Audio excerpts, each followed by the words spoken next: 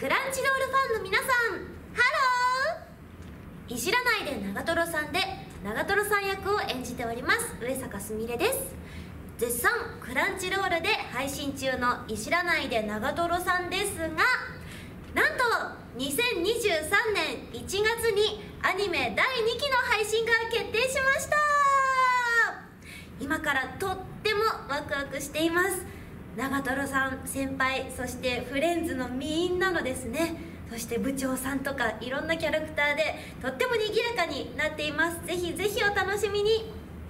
ということで皆さん長瀞さんの応援ありがとうございます。